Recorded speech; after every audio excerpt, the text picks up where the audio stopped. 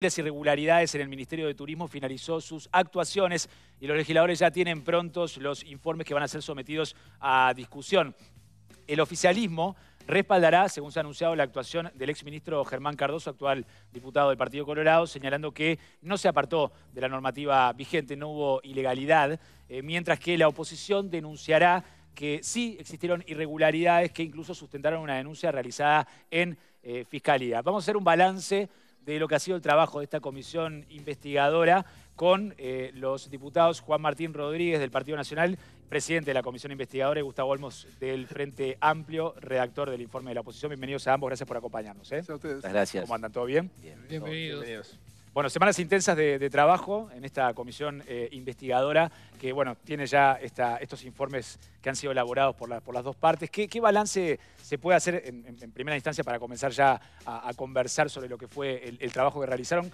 ¿Qué balance se hace de las actuaciones de las personas que concurrieron a brindar declaración, de la información a la que tuvieron acceso en la comisión investigadora? Aparte por usted, diputado Rodríguez, también como en su variedad de presidente. Bien, muchas gracias, Nacho.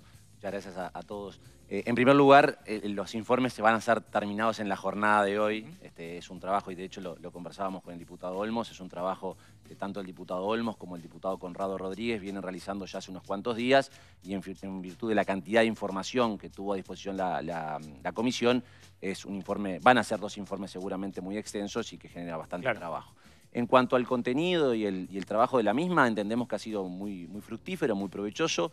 Eh, afortunadamente esta comisión, que eh, en el momento de su conformación por parte de la oposición tuvo eh, múltiples críticas en cuanto a su conformación, las características, si iba a poder trabajar, si iba a haber presiones indebidas, eso quedó demostrado que no fue así concurrieron todos aquellos que fueron citados, los que no fueron personalmente lo hicieron eh, a través de la vía de la comparecencia por escrito.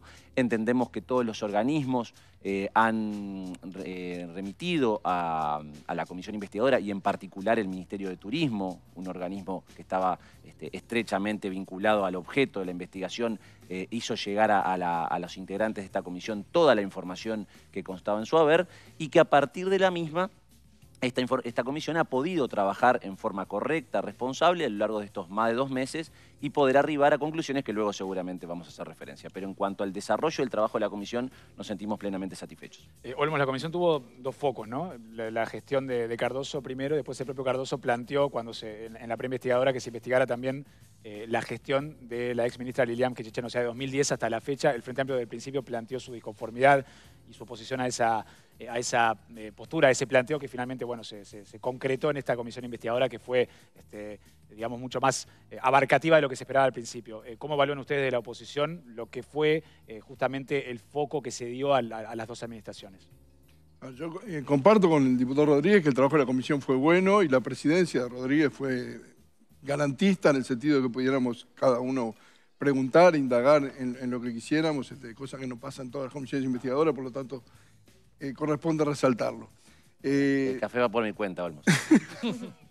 Muchas gracias. Este, yo creo que la, comisión sí tuvo, ese problema del principio y, nosotros nos opusimos en realidad porque, porque el diputado Cardoso aplicó lo de aquello de que no hay mejor defensa con buen ataque, pero no planteó ninguna denuncia concreta, e incluso cuando el diputado Iván Posadas en, la preinvestigadora le pregunta, bueno, pero ¿cuál es la presunción de irregularidad? Él dice, no, yo solo quiero se investigue. Y después piden cuatro o cinco veces ampliación de la información de un conjunto de cosas entre 2010 y 2020 en una actitud de, pescar con trasmayo, digamos, ¿no? O sea, piden volúmenes de información importantísimos de todas las compras directas firmadas por Benjamín Liberov. Eso es este, inconmensurable, porque puede ser ni siquiera de más de mil dólares, ¿eh? cualquier cosa que haya comprado. Este, entonces, e, e, eso, después de ahí, lo que trata de hacer es decir, bueno, ¿de qué elemento me agarro para intentar, eh, de alguna manera, cuestionar una gestión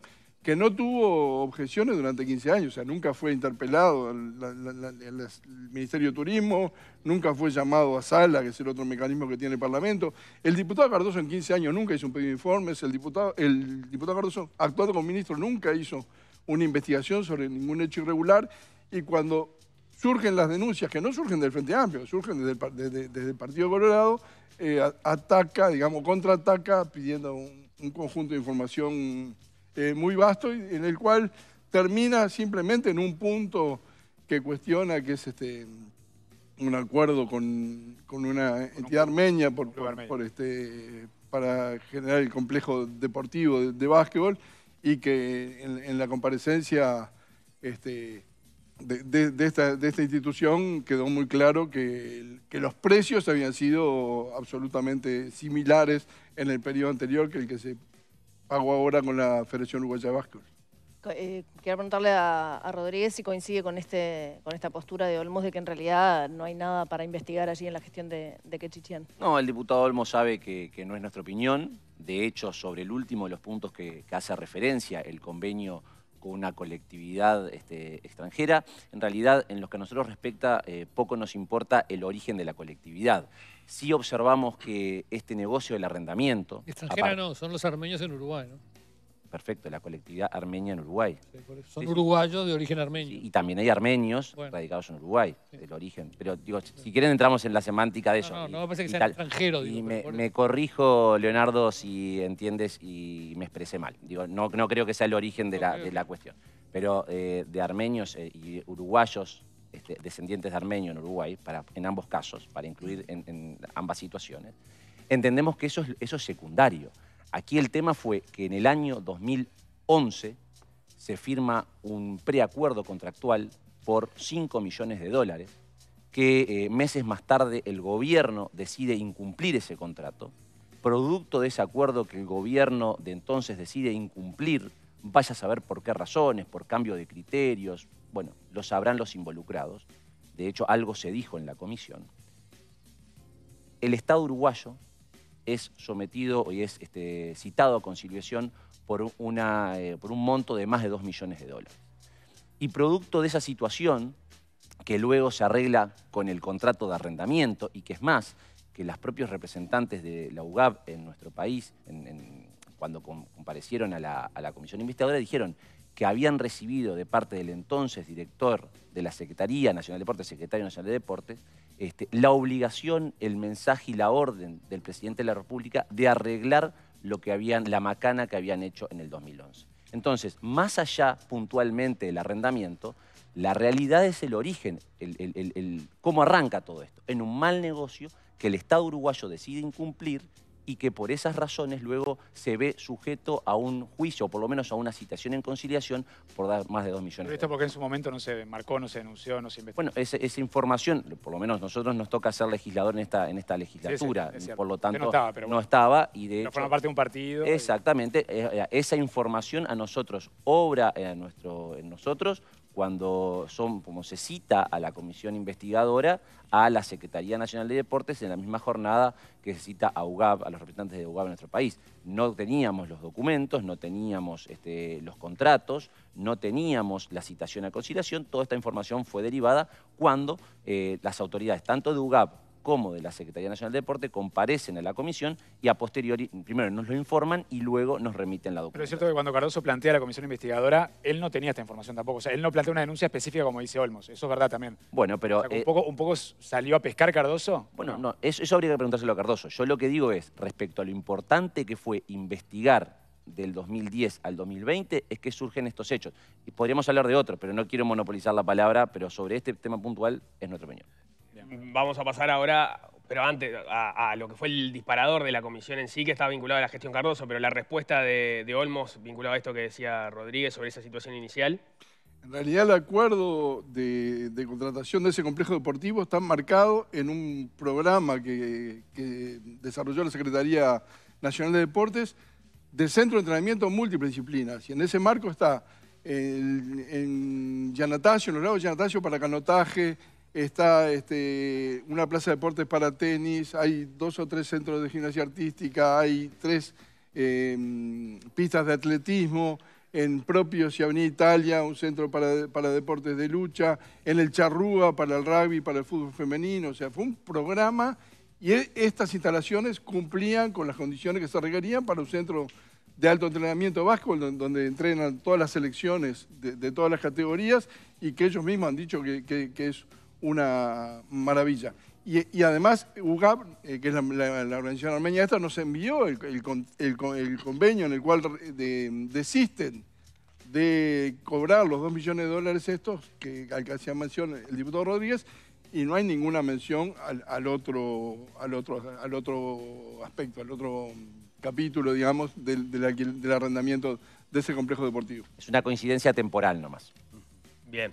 Eh, vayamos ahora sí a, lo que originó esta, esta investigación, que fue la salida de, Cardoso a partir de las diferencias que había tenido con Pérez Banchero en el Ministerio de Turismo. ¿Qué conclusiones se quedó cada uno del trabajo a partir de lo que fue el trabajo de la comisión? ¿Olmos? Eh, nosotros eh, reafirmamos o, tenemos más elementos que cuando hicimos la, denuncia de un manejo absolutamente desprolijo por parte del diputado Cardoso. Eh, yo sé que es muy difícil para la coalición decirlo, pero de hecho en la, discusión, en el plenario, en la comisión preinvestigadora, no hubo un solo diputado que defendiera la, administración de Cardoso.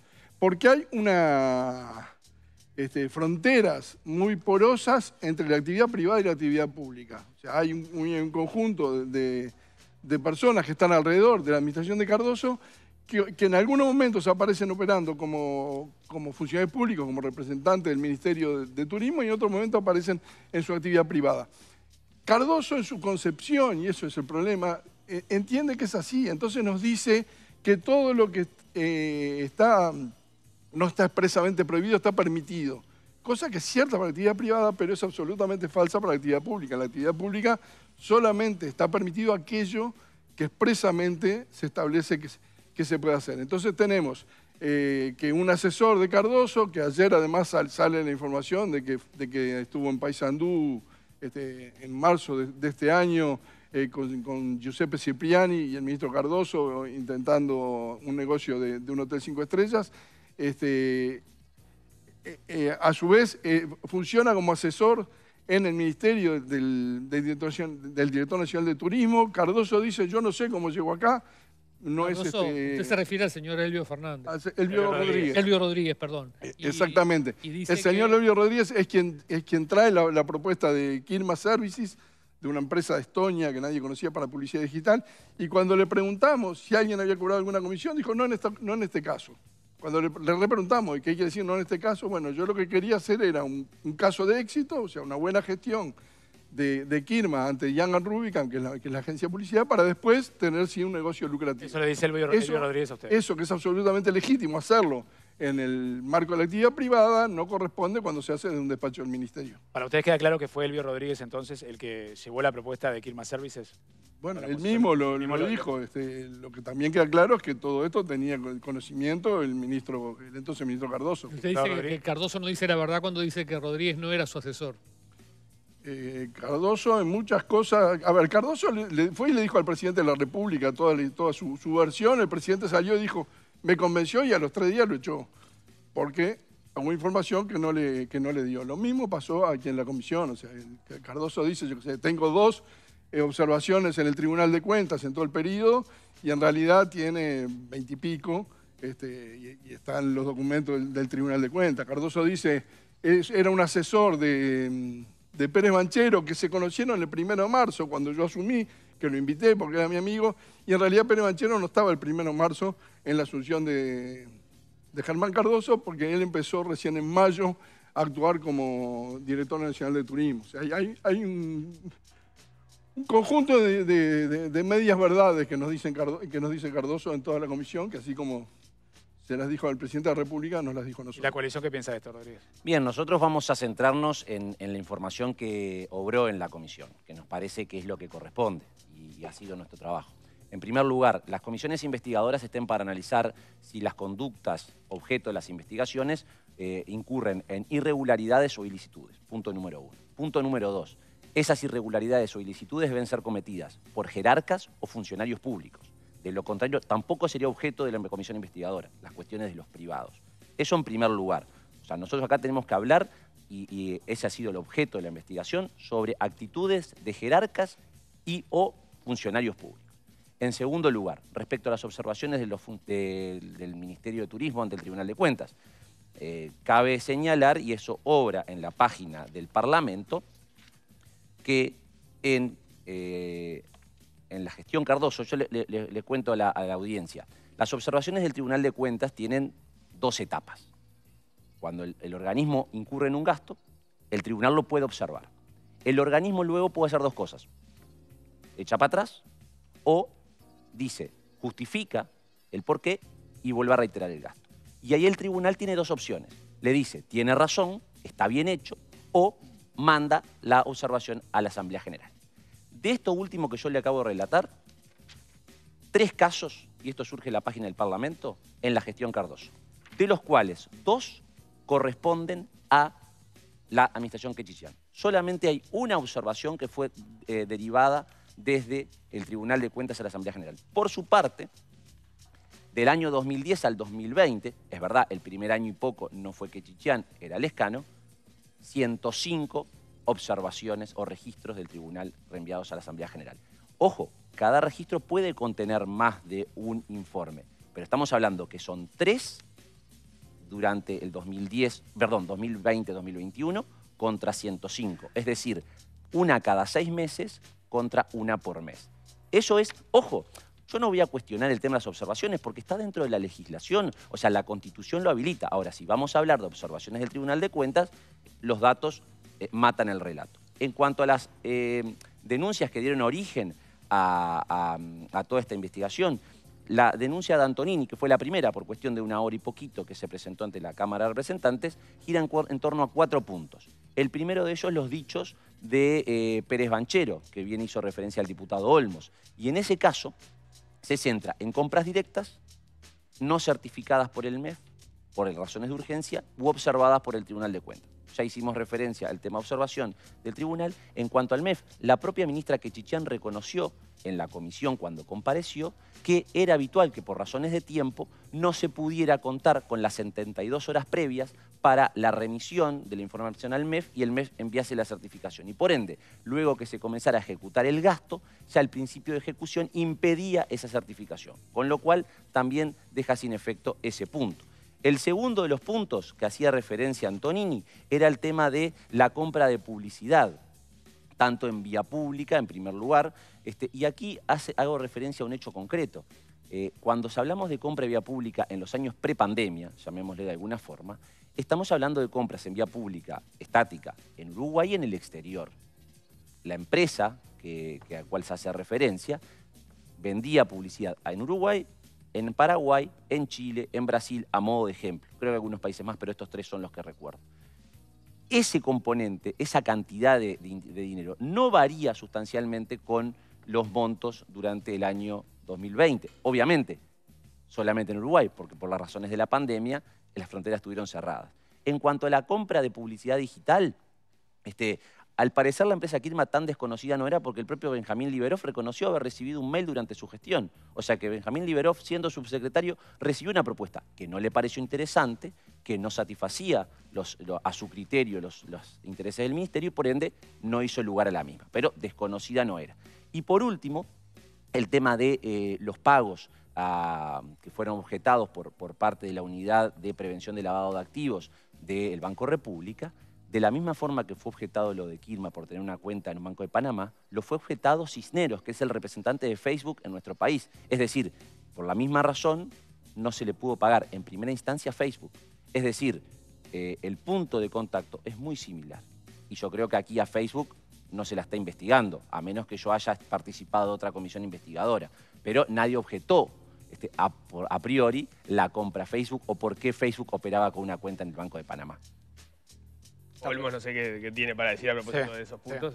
Yo, como esta discusión ya la tuvimos, Sí, claro. este, Se vino preparado. claro. A mí lo que no me queda claro, perdón, una, una Es- interrupción. No me queda claro lo, lo de Kirma específicamente porque la oposición dice que es una empresa inexistente, este, que no tiene antecedentes, y usted acaba de decir que ya que, que existe, que tiene trayectoria, que ya había una propuesta específica, y cuando se la quiso contactar a la empresa, según se ha informado, no se ubicó un lugar específico, una línea de contacto, un, un vínculo directo. No lo digo yo, lo dijo el propio ex subsecretario Benjamín Libero- Liberov cuando compareció a la comisión. Yo lo que debo decir... Una cosa es que recibiera un mail con una propuesta, otra Bueno, cosa es que pero a ver, hablar una relación. Pero si se dijo por parte de la oposición que era una empresa inexistente y el propio ex subsecretario, que hasta donde yo sé es parte de la oposición, de hecho es senador suplente en la actualidad, reconoce haber recibido una propuesta, tan inexistente no era. Y respecto al tema del contacto, yo debo hablar por la comisión. La secretaría de la comisión, vía correo electrónico, se comunicó con el mail que figuraba en el expediente. A los pocos días recibió una respuesta, se puso en contacto, eh, no el representante legal, sino el asesor, el abogado en nuestro país, el doctor Sazón, quien se encargó específicamente de dejarnos claro que no era representante, sino que era asesor legal de la empresa en función de todo lo que había ocurrido. Y a través de él recibimos a posteriori las respuestas en inglés y en español de parte de la empresa. Yo debo hacer referencia a la comisión. Bien. Luego Ahora, no es objeto. Antes de darle la palabra a Olmos, que ya, ya le damos, un- una cosa que me quedó picando ahí es que usted dice, durante la pandemia la contratación de vía pública, la empresa no la iba a canalizar en, los países vecinos, sino en Uruguay, pero en Uruguay tampoco había turismo, es decir, estaba todo detenido. Bueno, pero en el mes de noviembre, hace poquito más de un año del 2020, se determinó justamente que iba a ser un turismo con fronteras cerradas y se iba a estimular el turismo interno. De hecho, si ustedes observan los expedientes de compra de vía pública, observarán la primer eh, compra, la grande, la que es objetada y la que Pérez Banchero hace referencia en sus declaraciones, fue archivada fue archivada. Y es más, y en, los, y en los elementos, en los argumentos de por qué fue archivada esa compra, es decir, por qué no se ejecutó, justamente lo que dice es lo que dices tú, Leo. En este momento no estamos en condiciones de hacer una compra de publicidad en vía pública cuando no sabemos qué va a pasar, cuando de hecho el propio Ministerio de Turismo largó una campaña publicitaria donde decía quédate en casa en semana de turismo. O sea, esto hay que verlo en su globalidad. Si vemos eh, eh, solamente... No se ejecutó la compra, dice usted. La, comp- la, la que hace referencia a Pérez Banchero, la primera no. Después sí hubo otras compras que fueron, no, no quiero errarle en el mes, creo que fueron, corregime Tato, en el mes de octubre fue una, Noviembre. noviembre y una fue en febrero de este año. Esas son las, las tres compras que a posteriori Netcom y JCDCO, nombro las empresas porque este, son las que fueron este, Sí, sí. eh, destinatarias o, o, eh, por, la, por, por esa compra, eh, la ejecutaron. Ahora sí, Olmos. Adelante. Ya lo, lo hablamos en esta boca es mía, yo en este sencillo pero emotivo acto le entrego Mm. Los dictámenes del Tribunal de Cuentas con 13 observaciones del periodo Cardoso y 9 observaciones que todos van a ir a la Asamblea General. Todavía no llegaron a la Asamblea General, pero este, la, la cifra que maneja el diputado Rodríguez eh, no son correctas. Es decir, cuanto- esas 105 observaciones. no, 105 no, son 13 y Claro, 9, por eso- por eso 22. Ta, esas 105 entonces quedaron sin efecto. No, no, no, no. No, el- eh, eso es el periodo anterior. Sí. Claro, lo que pasa es que El- cada... el 105 son de 10 años. cada Acá 19 son de un año. Claro, Bien. cada, cada registro que manda la, a la- como yo lo dije, cada registro que se envía a la Asamblea General puede constar de más de uno. Hay uno que consta con 9 y otro que consta con 13. Ahora, seguramente de 105 haya mucho más que 3. Pero en 105 son 10 años, ¿no? Bueno, No- no es Sí, un bueno, año. eh, bueno, haga la regla de 3 y le repito. Sigo. Una cada seis meses y una cada por mes. Está bien, adelante. Siga, Olmos. siga. Después, respecto a, a- a la, a la vía pública, en realidad lo que hay es un- un- una propuesta de Netcom de 800 mil dólares en octubre. El 24 de noviembre el Ministerio resuelve, le comunica la resolución de que, eh, de que no, no considera pertinente contratar por un año. Y el 27 de noviembre hay una propuesta por tres meses exactamente igual que la que venía por un año. Esos son 300, del orden de los 350 mil dólares. No es cierto que el problema haya sido que, los tres días no daban para, hacer la certificación del MEC del- en el Ministerio de Econo- de Economía y Finanzas, porque la certificación de Economía y Finanzas se manda recién en diciembre, fin de diciembre. Y cuando a, fin de, a principio de enero el Ministerio de Economía lo analiza, le pregunta al ministro, pero esto desde cuándo se está ejecutando, y el ministro dice desde octubre.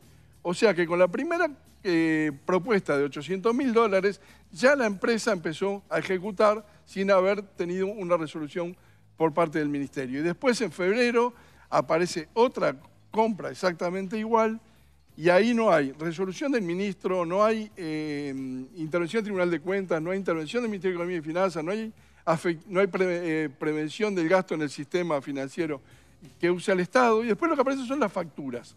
Y aparecen facturas incluso una de las cosas que cobra la empresa es eh, lo que se llama las lonas, ¿no? Lo que después voy a poner. Bueno, es- esas lonas que, en el informe de la agencia dice que, en su mayoría están en buen estado, son cobradas de vuelta totalmente. No se pagan, eh, hay, que decirlo. Pero, pero todo el, capítulo ese es, es absolutamente irregular. Y en cuanto a Kirma y a la, empresa esta de, de publicidad digital, es que yo, yo puedo admitir que en una empresa hay alguna cosa que, es- rara, pero acá todo es turbio, todo es, este, es raro. Y hay cosas que son insólitas. Cuando uno mira el código de- de- del sitio web de Kirma, además un sitio web que no es público, que uno tiene que conocer la dirección para ponerlo, porque si pone en Google no aparece. Este, pero entonces cuando hay, lo que se llama código empresa que se comentado, publicidad digital, ¿no? Claro, código comentado que no se ve porque, porque está en, en proceso de elaboración. Entonces, hay, por ejemplo, comentarios de, de- de Coca-Cola Company agradeciéndole a Kirma eh, el haberle mostrado la potencialidad de la publicidad digital. Una empresa que fue creada en 2018. ¿Alguien puede creer que de Coca-Cola Company va a decirle a una empresa de Estonia, bien flaco, me- mira, me, hiciste ver el, el mundo de la publicidad digital cuando debía tener muchísima más experiencia. Hay, hay otra empresa que es de madera donde uno la, busca y, no aparece. Hay una, este, eh, hay otra empresa de una, una- línea, una compañía aérea, los contactos, un- porque, además está el nombre de la, ¿no? de empresa. Entonces uno busca Laura, ya no me acuerdo cuánto, de, Coca-Cola Company, y no aparece en internet la tal Laura de, Co- de- de Coca-Cola Company. Eh, el, tema de- del pago eh, es- está bien, porque aparte no es culpa de Kirma, porque el, problema era con la entidad financiera, no con la empresa. Ahora, ¿qué es lo que uno espera? No me deposites en este banco, depositame en este otro. ¿no? Pero no hace eso Kirma. Lo que hace es cambiar a una empresa de Estados Unidos y esa empresa de Estados Unidos eh, fue creada un- dos meses antes de que se hiciera el, el movimiento, el movimiento ese. Y está... eh, ¿A usted le consta que fue creada? este, no sé, fue creada especialmente, Sí. fue comprada, digamos, ¿no? Pero era una, una empresa absolutamente nueva que, que- que se, que se usó para poder eh, realizar el pago de- desde Estados Unidos. Y así podría seguir. O sea, cada, cada cosa que aparece de Kirma este, es extraña y la suma de extrañezas da un resultado complicado. Todo esto es lo que va a ir a la justicia. Todo esto ya, en parte ya está la justicia, lo que ahora tenemos es más elementos. ¿Para usted Para agregar. ilegalidades? Porque eh, está hablando de, de- de que es- usted dijo turbio este, y cosas raras, pero para ustedes este, ¿hay, hay ilegalidad o hay actitudes ilícitas por parte del- de, las autor- de las ex autoridades? Eh, yo no me animo a tipificar qué, qué es lo que hubo. Lo que sí que creo que hay una, una gestión que, que se hace por parte de un privado con, con- con el objetivo declarado de generar un negocio para sí mismo, usando el aparato del Estado y además eh, con una empresa que a todas luces este, hace agua por todos los flancos. Yo, yo entendí la respuesta de, Rodríguez a propósito de que en lo que respecta al trabajo de la comisión se le hizo, una, se le hizo la consulta a Kirma, Kirma respondió, presentó un asesor letrado y, bueno, dio respuestas a, los requerimientos de la comisión, pero a partir de todo lo que dice Olmos, que además no es nuevo, ha venido surgiendo y surgió a través del, trabajo de Semanario Búsqueda, por ejemplo, este, más información además a propósito de todo esto, no le quedan dudas a propósito de qué es lo que era Kirma y, todo lo que estaba alrededor, por ejemplo, la intervención este, de Elvio Rodríguez, que no se sabe si es en calidad de privado o en calidad de asesor o colaborador del ministro, donde aparecen declaraciones que Olmos habló de medias verdades, algunas parecen este, no ser, este, ciertas, porque dos declaraciones que van en sentido contrario no pueden ser este, ciertas a la vez, ¿no? Por ejemplo, lo, que, lo propio lo que dijo eh, Reta de que solo tuvo conocimiento de la, existencia de Kirma a través de un, documento que llegó y que reenvió y después uno se termina enterando que fue el propio Reta, asesor en el ministerio, que termina presentando a la empresa ante el RUPE como proveedor del Estado, etcétera. Todas esas cosas no le generan dudas a, a- a Rodríguez o a la coalición. Nico, eh, tan de acuerdo estoy con el diputado Olmos en cuanto a la necesidad de investigar y echar más luz y transparencia al asunto, que lo que nosotros hemos propuesto, y, así lo hemos transcripto en el proyecto de resolución que la comisión votó, es remitir todo a la Fiscalía. A nosotros, de los elementos que surgen de la comisión, no nos permite asegurar ni que hay irregularidades ni ilicitudes, ni en la gestión Cardoso ni en la gestión Quechichián. Ah, que podríamos hacer especulaciones. Ah, por supuesto, yo podría especular sobre los más de 2 millones de dólares que gastó Quechichián en las consultorías externas, los más de 8 millones en publicidad este, digital, los casi 4 millones de dólares en 5 años para la seguridad de las plazas de deporte y qué casualidad en los años electorales aumentaba la contratación. Este, yo podría especular sobre la publicidad en vía pública, casi 10 millones de dólares. Yo podría especular. Ahora, yo estoy diciendo que, estoy cometiendo, que se cometieron irregularidades. Yo digo que la ministra Quechichán, cuando no mandó controlar la lancha que estuvo casi cinco años parada en Río Negro y que lejos estaba de cumplir con los este, controles de la licitación, que, nos vendiera un poco más que el crucero del amor y, que resulta que era una lanchita que se caía a pedazos. Yo puedo decir que la ministra este, hizo algo irregular, no, yo no lo puedo afirmar, pero evidentemente alguien se equivocó. Entonces, pero como yo no tengo las competencias para llegar a fondo en la investigación, quiero que se mande a fiscalía. Ahora, en 10 años nadie, nadie de, la, entonces oposición se le ocurrió Paula, hacer esto. yo disculpa que te repita la misma respuesta que le, que le di a Nacho. Yo soy diputado por primera vez. Yo lo entiendo perfectamente. Y, a mí, y a mí me encargaron esta responsabilidad a partir de ahora.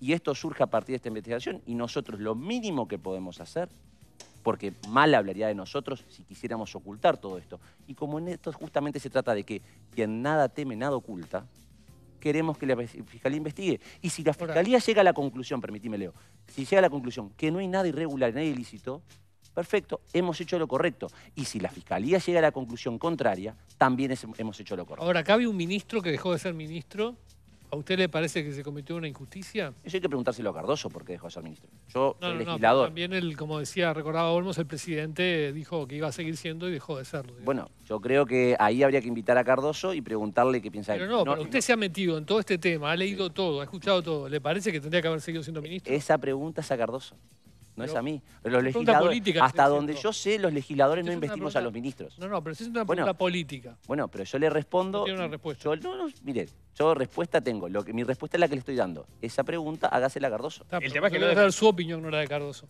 Bueno, a ver, aquí hay un ministro que fue ministro hasta el día 20 o 21 de agosto de este año y que presentó renuncia.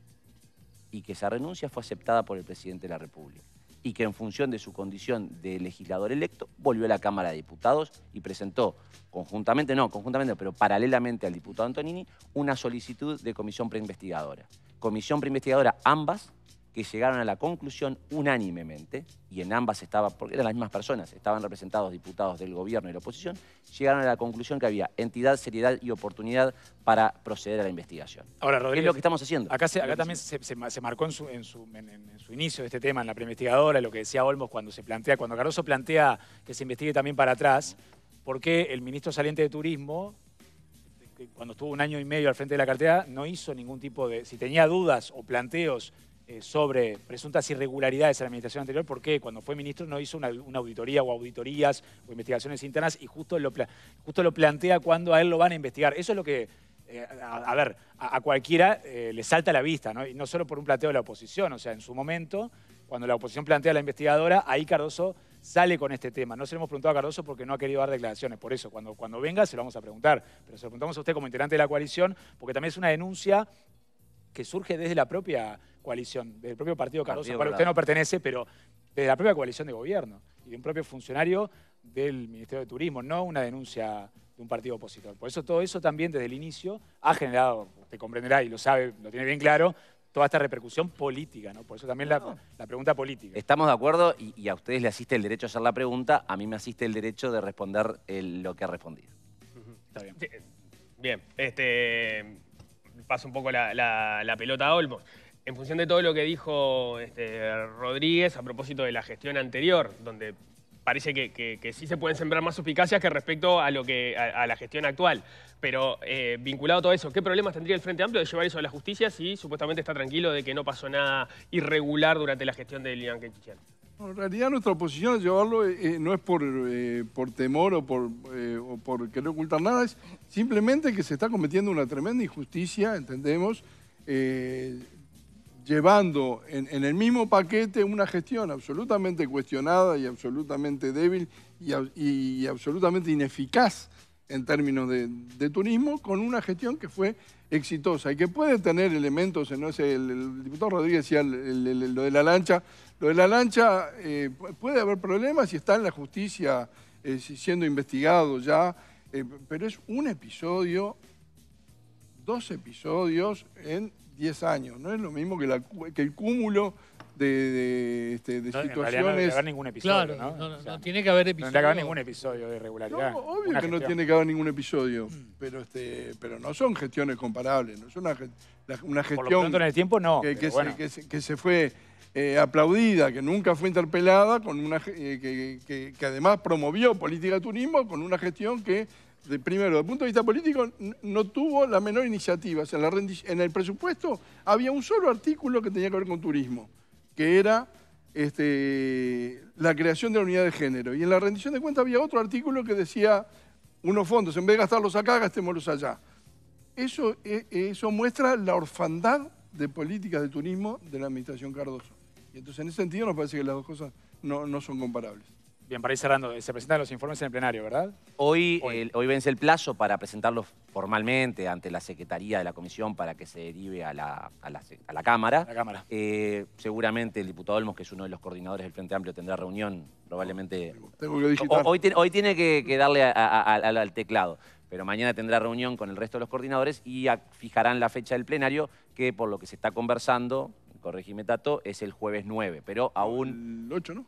No, el 8 hay un, un el homenaje. 8 o el 9. Eh, eh, por eso se está en, en- en- ajuste de la fecha. En una Hay- semana más o menos. El, el martes habrá un homenaje al expresidente Vázquez, el, el miércoles habrá un homenaje también a la fallecida diputada Rieta, por eso estaba manejando el tema del jueves 9, eh, para arrancar temprano y tener toda la Ahora, eh, después de haber oído todo lo que oyeron, y, y- y aparte queda claro que en lo personal tienen una excelente relación, ¿sacaron algo en común eh, para, para cómo se tiene que gestionar el Ministerio de Turismo? Digamos, ¿hay, algo que hayan que coincidan respecto al futuro? ¿Sirvió para algo, para consensuar algún tipo de cosas?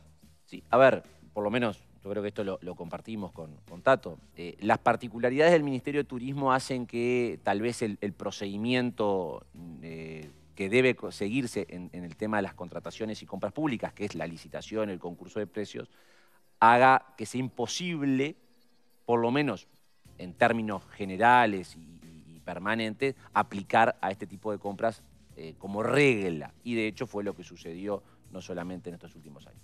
Creo que sí, tal vez el, el- ojo, repito, está todo dentro de lo que establece el TOCAF, porque las compras directas es una excepción que establece el propio TOCAF. Tal vez habría que pensar desde, desde la legislación, desde el Poder Ejecutivo, un mecanismo que, sin ser como representa la, la licitación, el concurso de precios, pero tampoco incurriendo en la compra directa como regla, pueda encontrarse un mecanismo acorde a las particularidades del Ministerio de Turismo. Estamos hablando de la compra de publicidad, de promoción, este, con las particularidades, repito, que ya tiene, que dé tal vez mayores garantías hacia afuera. ¿Podría Es- ser un mecanismo de control, por ejemplo, un control externo? Tal vez, habría que ver seguramente los que sepan más de compras este, y, y- y administración en esos aspectos y de la contratación pública puedan darnos una gran mano en pensar mecanismos para este tipo de situaciones. Y Olmos. también, y perdón, ya dejo a Olmos, pero el, el tema de los asesores, ¿no? Gente que parece que trabaja asesorando al ministro, pero también está en la empresa, es, es parte del negocio. Para, a mí de haber oído todo esto me queda ese- esa sensación de que hay una zona gris ahí que no, no está bien, bien manejada en el Estado, digamos. Eso depende del jerarca. Depende del jerarca. Yo le voy a poner, le voy a decir una cosa que de hecho se lo dije al propio señor Cardoso y, Al- y Olmos lo sabe también. Uno de los elementos que constaba en la, en la denuncia inicial de Antonini, que, que la omití, era el tema de esa cena que después se eh, comprobó que era un almuerzo con el eh, secretario de la Organización Mundial del Turismo y una delegación importante del eh, gobierno brasileño almuerzo en torno a los 50 mil pesos, cuya factura este, se presenta al ministerio cinco meses después. Si yo soy ministro y un ascripto mío me trae cinco meses después la factura, le digo, por más que sea legítima, por más que la el almuerzo haya sido correcto, dámela que yo la pago y después arreglamos entre tú y yo. Pero es un tema personal, porque el gasto existió y se debió pagar. Ahora, que llegue una factura cinco meses más tarde, capaz que no es lo más prolijo. No es lo más Y bueno, pero eso repito, ¿hay legalidad? No. ¿Hay licitud? No. Es un tema de la actitud del jerarca. Para cerrar, Olmos, sobre esto que preguntaba Leo. Menos prolijo es que la cena ya ha sido en noviembre. Almuerzo. El- en, la, en la- en la factura dice cena. Eh, Cardoso dice que fue un almuerzo. Este, y que Reta diga, lo que pasa es que se me traspapeló en el bolsillo del saco y cuando aparece en marzo tiene fecha 3 de marzo. Sea, cómo se le traspapeló y cambió la fecha es un misterio que no hemos podido resolver. Yo creo, respecto a la otra pregunta, eh, que me parece una enseñanza que deja este, es mm, la necesidad de tener mejores controles o, mecanismos que, permitan que uno pueda detectar eh, eventuales irregularidades eh, antes de que...